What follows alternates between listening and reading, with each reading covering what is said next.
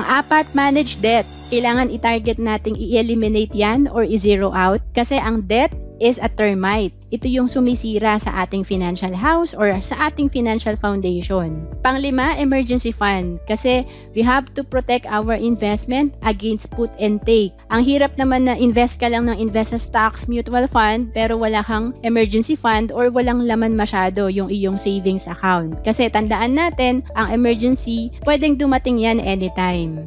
At pang-anim, investment, long-term assets accumulation. Ito naman yung mga investment natin sa stocks, mutual fund, and real estate. So again, para hindi natin napupull out lagi ang ating investment, dapat meron tayong naipon sa baba. Meron tayong magandang cash flow, healthcare, life insurance, walang utang, at may emergency fund. Kasi tandaan mo, money takes time to grow. Hindi kailangan na pull out ka ng pull out or withdraw ka ng withdraw ng investment mo. Kasi paano yan kung kagaya ngayon, no, negative ang mga investment. So, imbes na kumita ka, malulugi ka pa. So again, we have to build our financial house from ground going up.